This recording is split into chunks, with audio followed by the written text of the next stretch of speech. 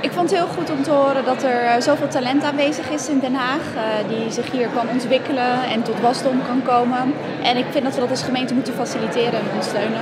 Het makersklimaat bevorderen. Dus uh, zorgen dat mensen kansen krijgen om hier te maken. Om dat op een veilige manier te doen. Om dat, daar ruimte voor te creëren. En tegelijkertijd ook ehm, te zorgen dat, dat mensen hier blijven. Je hebt een soort van het gevoel nodig dat je ergens komt waar mensen begrijpen waar je mee bezig bent en waar ze je het gevoel kunnen geven dat je, ja, dat je een beetje onderdeel bent van een groter geheel dan alleen maar jij met je ideeën in, in je eigen bubbel. Wat ik het interessant vond bij deze bijeenkomst was om de andere makers te horen vertellen over ja, waar zij tegenaan lopen als, als, als, als als Haagse maker? Dat de creatieven gehoord worden en serieus worden genomen. Ja, en dat Den Haag zich zo uh, uh, dat omarmt. Dat er nog steeds jonge mensen zijn die heel erg met passie bezig zijn met hun vakgebied en zich daarin willen ontwikkelen en dat ook in Den Haag willen doen. Die hebben echt heel erg bewust voor Den Haag als, uh, als plaats gekozen.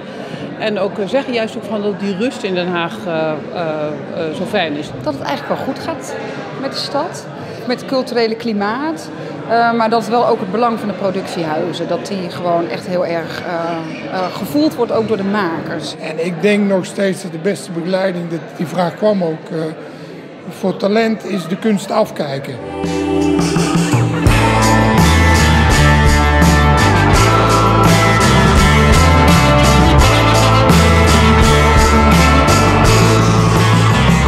Dat het steeds terugkeert het woord ruimte in alle betekenissen. Echt fysieke ruimte waar je dingen kunt maken. Ruimte in je hoofd. Rust die, uh, die nodig is bij het maken. Dat, dat vind ik, vond ik heel mooi in de verhalen. Maar ik merk dat ook dat dat door de wethouder begrepen wordt. En dat belooft wat voor de toekomst. De behoefte aan uh, denkruimte voor makers. En denkruimte zit hem voor een deel in het uh, karakter van deze stad dat hier niet alles eh, dicht zit, maar dat er nog ruimte is voor nieuwe initiatieven, ook ruimte is voor crossovers.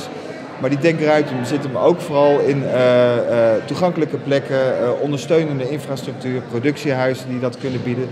Wat we nodig hebben in Den Haag is een plek waar we met elkaar rond kunnen hangen, waar kunstenaars elkaar ontmoeten en tot innovatie kunnen komen, omdat ze samen het experiment aangaan, omdat daar ruimte voor is. En uh, omdat ze elkaar weten te vinden. En ik denk dat ik dat ook het leukst vind aan zo'n bijeenkomst als dit. Dat je um, even weer voelt van, oh ja, dit zijn we allemaal samen inderdaad aan het doen en over na aan het denken.